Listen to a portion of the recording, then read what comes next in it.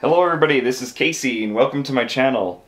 Um, well, here's an interesting one today. We've got an Apollo Solar charge controller. I'm sure most of you are asking, well, what's Apollo Solar? Well, it's a company out of Bethel, Connecticut that uh, has history uh, working with NASA, uh, designing charge controllers for them. They decided to do off-grid solar equipment in, I don't know, like 2007 or 8 and they came up with some pretty nifty products. Uh, this is their T80HV, that stands for high voltage charge controller. Uh, it's got some pretty cool features.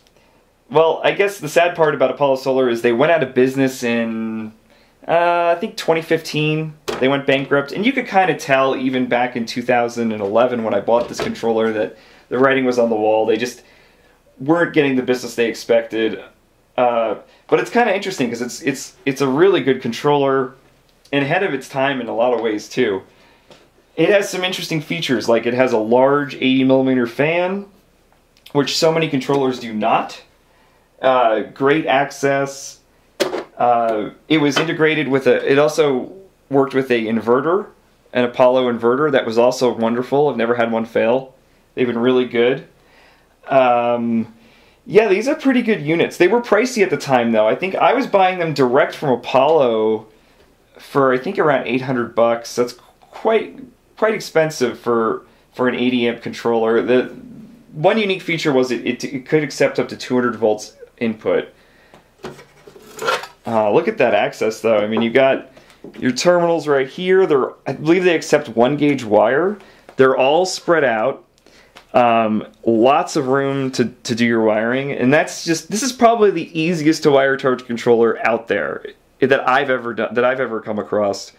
Uh, so they were really smart there. It's it's pretty cool. I mean, like it's a box. It's not exactly designed to win any beauty contests, but it just has to, you know, it just has to convert high voltage to lower voltage and, charge control. You know, it's not boil your batteries over and that's what it does. Um, you've got your large fan back here, totally easy to replace. It's like, what is it? Well, I guess you take the cover off. I don't know, just six screws or something, and this plate comes off. You unplug the ribbon cable. It's totally user accessible. You're right in here. There's your caps. Um, there's your transformers for the DC to DC converter. I guess they're called bucks in this case.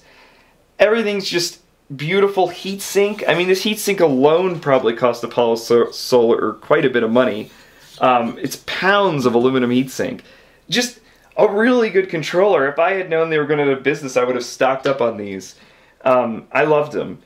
And they did have a flaw that, and I, I don't know if Apollo ever realized what was happening. The flaw was if you hooked it up as the as these were common, you pretended these were common negatives and you just had one negative going to your uh, your switch gear, and then you you didn't have a negative going to your PV or your battery, you tried to share these like with the Outback controller, it would cook um, some kind of a surge protector or something in the middle right here. It would it would just cook the controller. It would, and I and, and you know how I found out? I did it, and I broke one. Um, it worked actually. It's funny. It worked for a while, especially with the smaller solar array. But once I added to the solar array, it it it, it fried some circuitry right around it, right in here, and they actually repaired it. Um, yeah, that was they had great customer service while they were still in business. Uh, you know, it's just there's other companies out there, and they just didn't make it. Uh, other good features are it's got system integration with the Apollo inverter and it would network through here. Uh, it also had remote monitoring, which in 2010, that was not happening. No one was doing remote monitoring. So you actually slid a remote monitoring card. I actually had this set up with remote monitoring for a few years. Um, a lot of really good features. Uh, the knockouts, you've got one inch or inch and a quarter, um, two ground lugs, uh, what other you know the fan is a big one just a normal size fan. And here's a comparison in size. It was a little on the large side but large size but you know you can make room with your upgrade solar system. So like this is an outback 80 and it has 150 volt input but terminals and i consider this with pretty good terminals like these these accept up to number two wire uh but you know, comparatively, look at how much room you have in here. Uh, and then look at the fan. It's got a little fan on the top. I think it's got a uh, like a 50 millimeter or something fan, so it has to turn faster. And then the 60 amp Outback has like a little tiny fan right here that's hard to change, and it screams. You know, that's like my criticism with a lot of charge controllers are the fan, and of course the terminals.